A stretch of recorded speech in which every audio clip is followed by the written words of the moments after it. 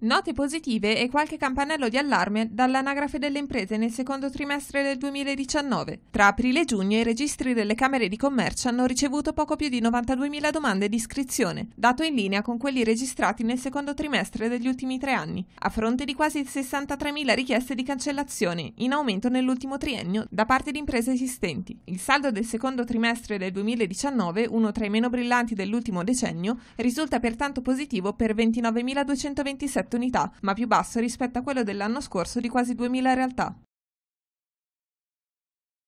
Sace Simest, il polo dell'export e dell'internazionalizzazione del gruppo CDP, e Promos Italia, la struttura del sistema camerale italiano che supporta i processi di internazionalizzazione delle PMI, hanno sottoscritto un'intesa che punta a una maggiore collaborazione fra le due parti con un obiettivo sfidante, migliorare la proiezione internazionale delle imprese italiane, aiutandole ad accedere ai prodotti, servizi ed esperienza delle due società specializzate nel sostegno all'export e all'internazionalizzazione.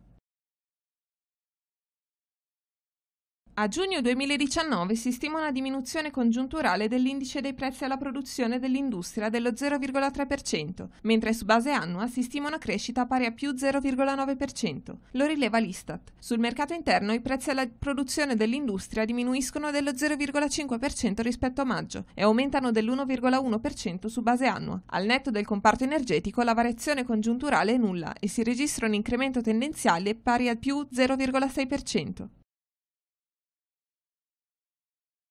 Nel 2017 la spesa per la pubblica istruzione è stata pari a 66,1 miliardi di euro. Lo rileva l'Osservatorio sui conti pubblici italiani dell'Università Cattolica del Sacro Cuore. L'Italia è stata l'unico paese dell'Unione Europea in cui la spesa per interessi sul debito pubblico e altre spese collegate ha ecceduto quella per l'istruzione. I dati più preoccupanti riguardano l'istruzione universitaria. Mentre nel 2017 l'Italia riportava cifre in linea con la media europea per l'istruzione primaria e secondaria, si apre un grosso divario quando si considera la spesa per l'istruzione terziaria. Lo Stato ha speso infatti solo lo 0,3% del PIL per istruzione terziaria, nemmeno la metà della media europea dello 0,7%. In questa voce l'Italia è all'ultimo posto in Europa, a pari merito con il Regno Unito.